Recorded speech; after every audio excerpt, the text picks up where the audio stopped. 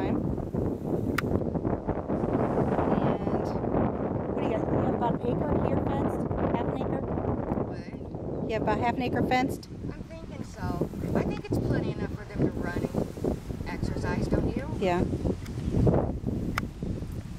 And now we're just chilling. I, I like this better than just